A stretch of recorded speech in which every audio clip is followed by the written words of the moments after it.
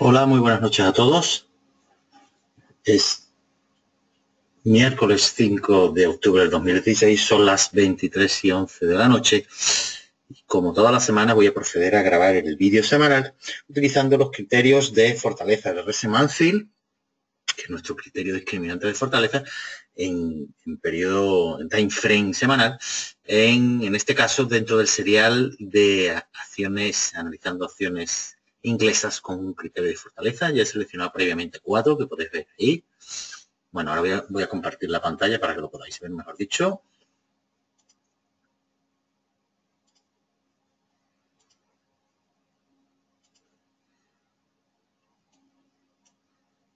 Bueno, pues ahí ya la podéis ver. Acacia, Anglo American, Chill y Bear. Estas son cuatro opciones que previamente he seleccionado con criterios de fortaleza. Bueno, pues vamos a empezar ya a analizarlas. Lo primero, como siempre, ¿tenemos fortaleza o no tenemos fortaleza? A día de hoy presentan fortaleza.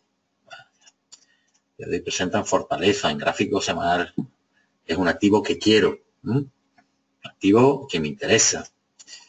Aquí podéis ver el, el indicador composite que he utilizado centro real, en definitiva es como un market profile de volumen, un volume profile, llamarlo como queráis, y que nos va a determinar muy bien, y lo vais a observar, las zonas de soporte-resistencia. Es un indicador muy bueno de soporte-resistencia.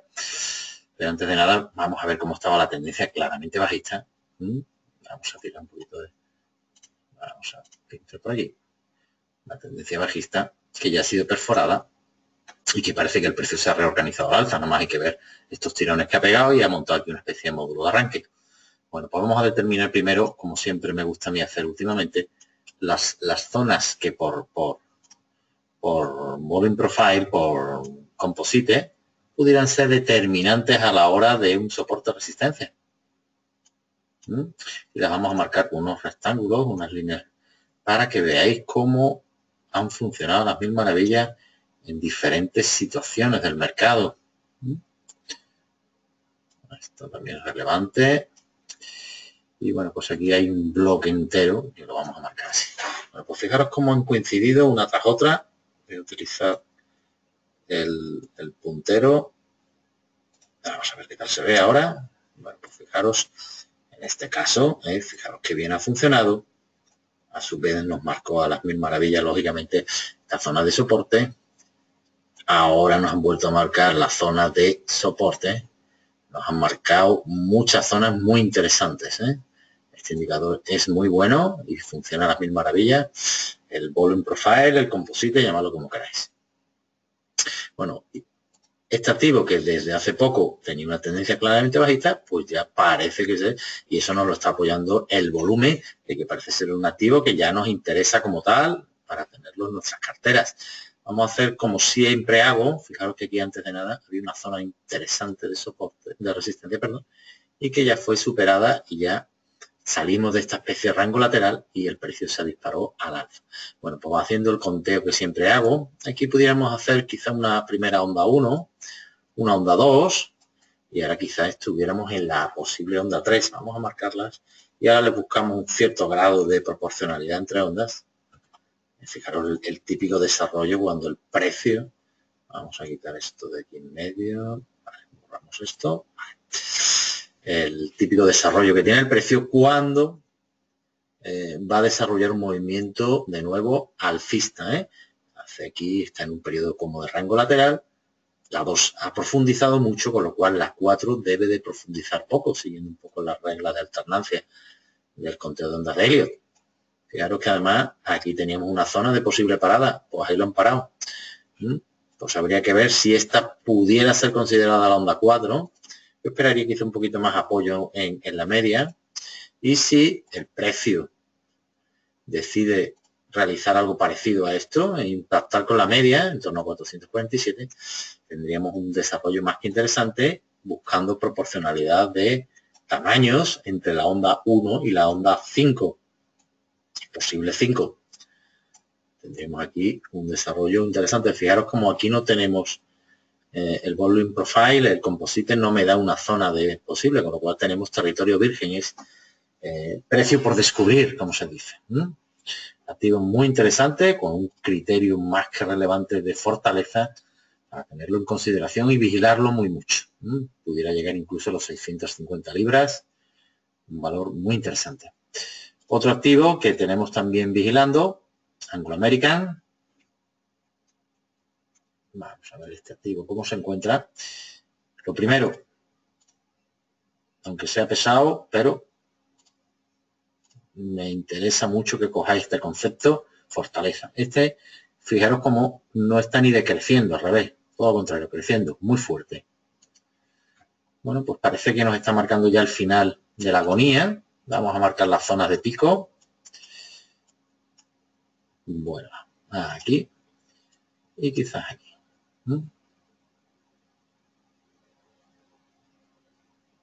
Esto también es interesante.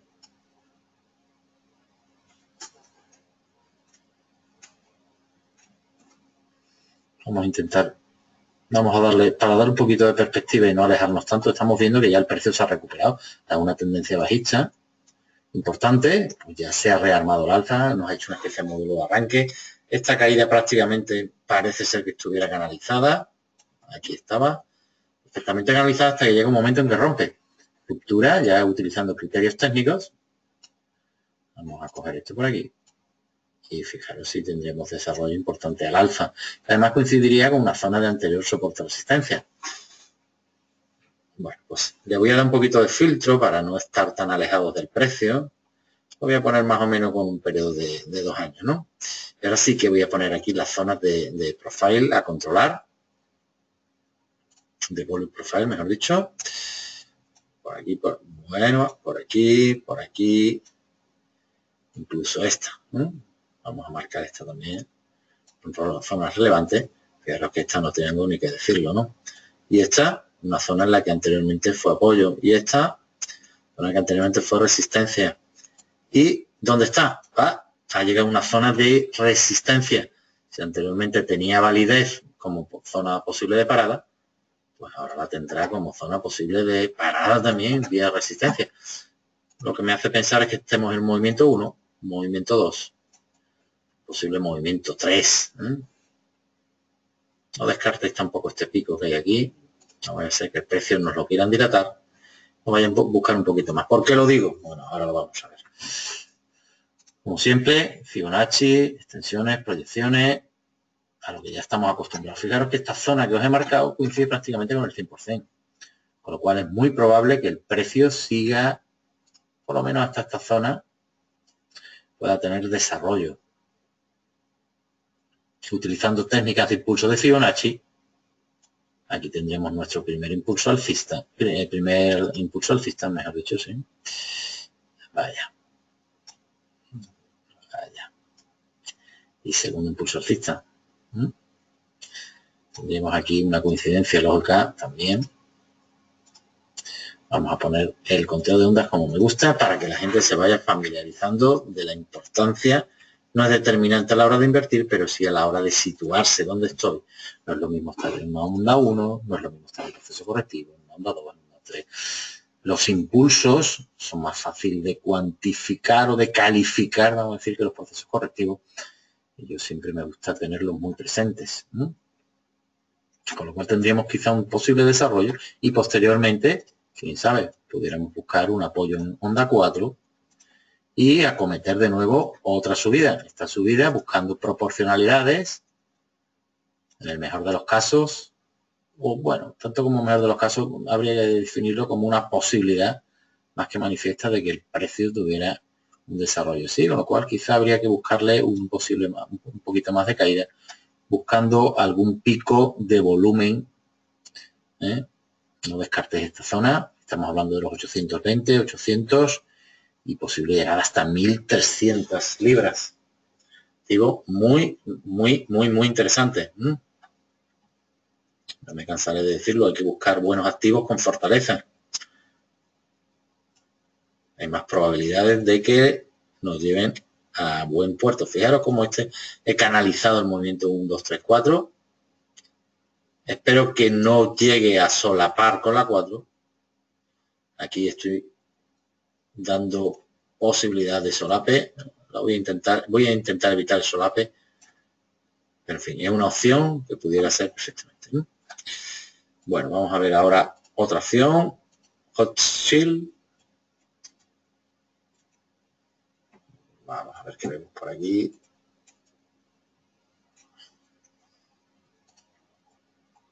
Bueno, otro activo que tirando de fortaleza, montaña, fijaros la caída y fijaros la subida, como es impresionante el subidón, que coincide, fijaros como coincide con este nivel. A partir de aquí ya se acaban las penas, a partir de aquí ya me interesa el activo. Por eso es tan importante determinar. Voy a marcar con una línea. Ay, perdón. Voy a marcar con una línea la zona, verás cómo coincide, veréis cómo coincide, perdón, con la zona de... Vamos a borrar ahora esta. Me va a dejar en mal lugar. Fijaros como en el gráfico diario está justamente en el cruce. ¿Mm? Por eso cuando veis un activo que presenta fortaleza, es para tenerlo en consideración.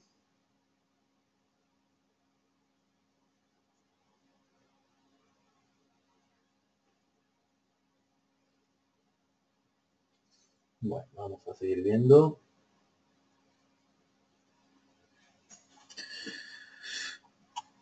No hay que decir que venimos de una importante caída. Vamos a buscar más cercanía al precio, por ejemplo. Vamos a ponerlo así.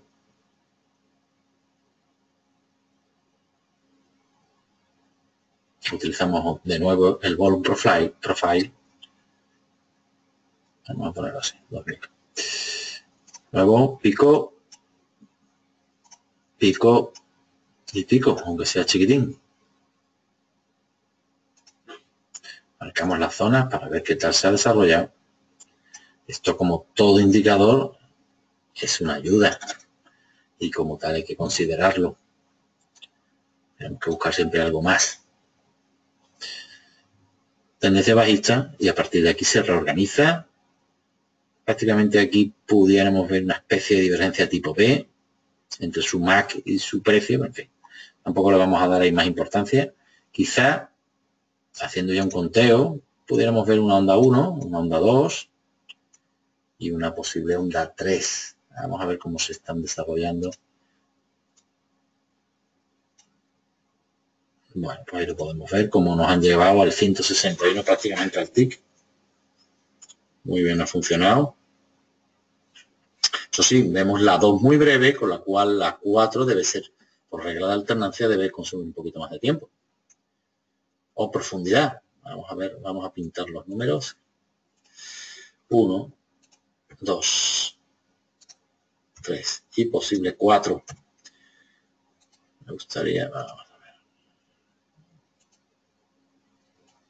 Vamos a buscarle una zona F2 óptima al precio. Y para ello trazaremos Fibonacci desde diferentes puntos a buscarle un punto de coincidencia que como podéis observar aquí tenemos un punto de coincidencia aquí el nivel 38 aquí el nivel 52 esto sería una zona perfectamente planteable como zona de descanso del precio. Vamos a quitar ahora los Fibonacci. Lo voy a dejar limpio. Y voy a calcular el Fibonacci precisamente del impulso 4 Fijaros cómo nos lo llevan también al 100%, con lo cual mi planteamiento debe ser quizá esperar el precio en 2.23 para luego continuar con el trayecto al alza. Este trayecto al alza, pues tan fácil como coger el tamaño de 1 y ya que el 3 me ha llegado al 161, proyectar este desde aquí, pues fijaros más o menos a 350, un nivel muy interesante porque de momento fijaros cómo no habría zona de parada. Quién sabe si nos lo llevan incluso más arriba, al 161. Es una posibilidad más que interesante de que el precio corrija, monte una onda 4 y a partir de ahora le dará así tiempo a acercarse a la media. Un activo muy interesante también. Y por último, vamos a ver a Weir.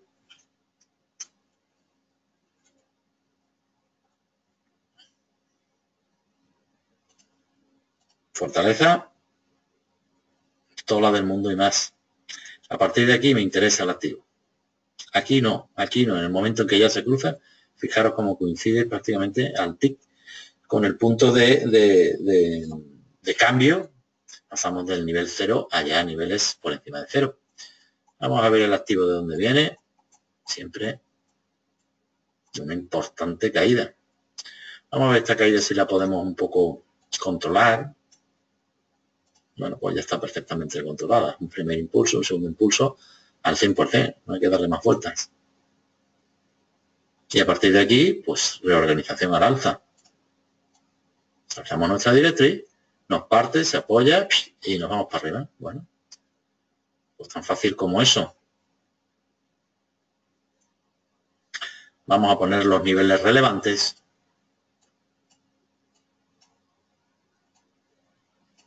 y vamos a visualizar por dónde estamos. Bueno, pues casualidad de la vida donde estamos. Casualidad de donde ha sido soporte. A primero resistencia y luego soporte. Y zona de parada anterior. Bueno, pues ya tengo cuantificado las ondas. Una, dos y posible tres. Vamos a buscarle igualdades por Fibonacci, proporcionalidades. Bueno, pues fijaros cómo está a puntito de llegarnos al 161.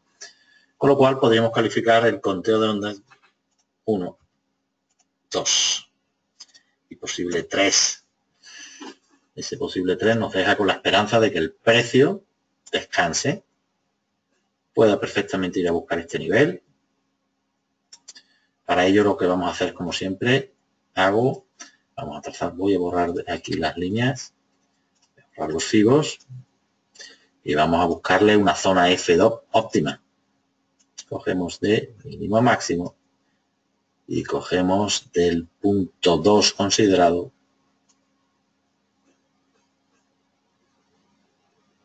Aquí vemos que no hay no tenemos nada con lo cual por técnica F2 no podemos sacar una conclusión pero hay que buscar algo más. Vamos a ver si hay una posible unión entre líneas que estuviera totalmente canalizado el precio